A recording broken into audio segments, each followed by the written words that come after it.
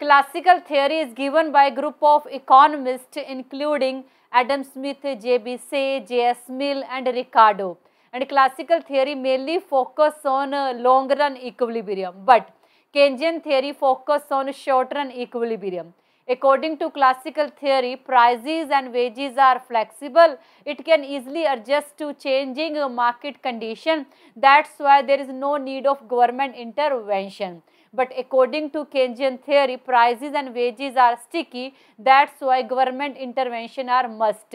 And classical theory focus on supply side, but Keynesian theory focus on demand uh, side and according to classical theory full employment is normal feature of economy but according to keynesian theory unemployment can normal feature of economy especially short time period uh, during economic uh, recession